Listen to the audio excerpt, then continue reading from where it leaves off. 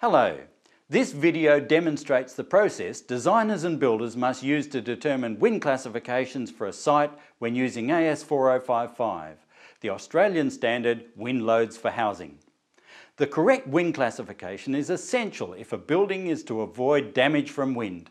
For example, if a house is built with details that are just one wind classification lower than the site requires, in a design wind event the load on the tie downs will be double their capacity. Another video in this series outlines in detail the steps used in AS4055 to obtain the wind classification for houses. This video shows an example of how they're used. A wind classification is required for every new house or major building work on an existing house. This example shows how to evaluate the wind classification for an existing house prior to an extension. The extended house fits within the limitations on size and shape in AS4055. The first step is to determine which wind region the town is in. The house in this example is located in Perth. Therefore, from figure 2.1 of AS4055, it can be seen that the relevant wind region is region A. The second step is to assess the terrain category. Satellite imagery was used to check the terrain within 500 metres of the site.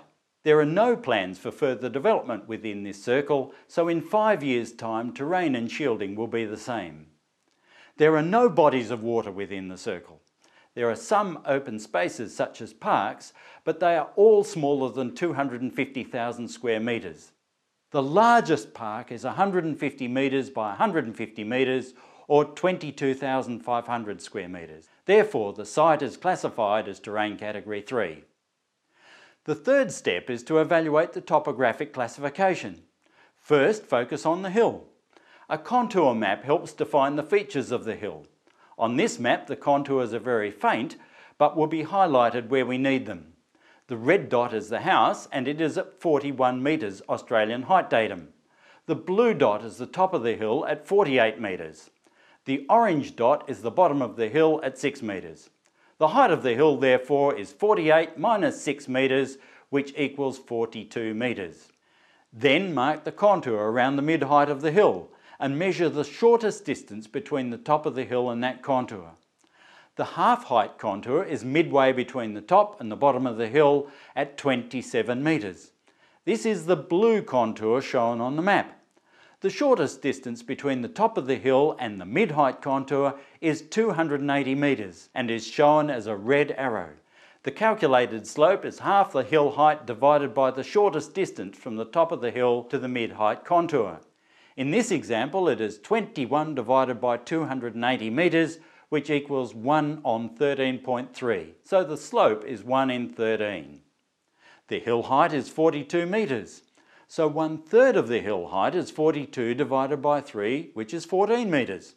The top third of the hill will be at 48 metres minus 14 metres, which equals 34 metres.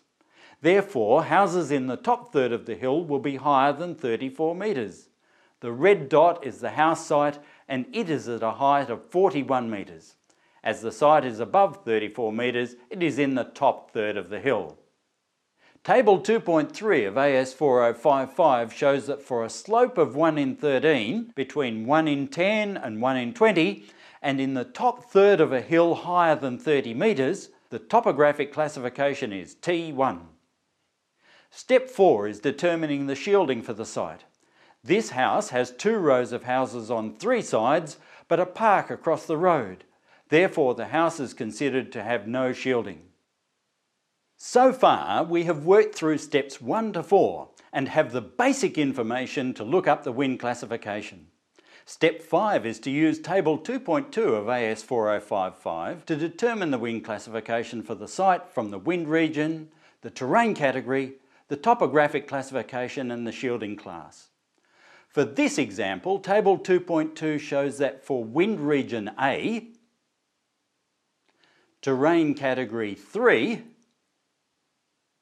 topographic class T1, with no shielding, the wind classification for the house is N2.